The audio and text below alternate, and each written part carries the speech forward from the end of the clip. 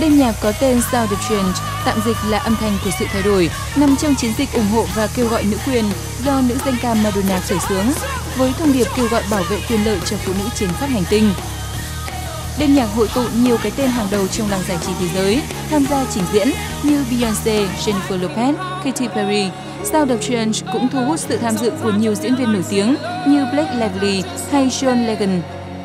Theo Beyoncé, chỉ đạo nghệ thuật của buổi hòa nhạc, mục tiêu của Sound of Change là để kêu gọi toàn bộ phái đẹp của thế giới hãy biết đứng lên, nắm quyền và cùng bảo vệ nữ quyền.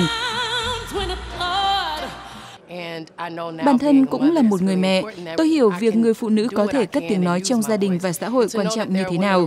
Rất nhiều phụ nữ trên khắp thế giới không có quyền được nói lên suy nghĩ của mình. Vì vậy, chúng tôi muốn thông qua buổi hòa nhạc này để nâng cao nhận thức của mọi người về nữ quyền. Đêm nhạc sôi động hoành tráng đã được tường thuật trực tiếp từ sân vận động Twickenham ở thủ đô London, Anh đến 150 quốc gia. Ngoài các màn trình diễn và phát biểu của các nghệ sĩ, nhà hoạt động nổi tiếng, đêm nhạc cũng dành thời gian giới thiệu những bộ phim và câu chuyện đầy cảm hứng từ nhiều tấm gương phụ nữ vượt khó trên khắp thế giới. Thứ duy nhất mà tôi quan tâm đó là giáo dục về mặt nhận thức, và đó không phải là một yêu cầu xa xỉ, đó là quyền cơ bản của con người.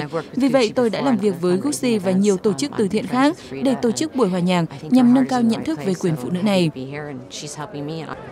Trong ngày hội nhạc pop từ thiện, mỗi khán giả còn được lựa chọn dự án để ủng hộ bằng chính tiền họ bỏ ra để mua vé. Theo tính toán của ban tổ chức, nếu tất cả vé được bán hết, số tiền thu được sẽ đủ để tài trợ cho ít nhất 120 dự án hỗ trợ phụ nữ và trẻ em tại hơn 70 quốc gia.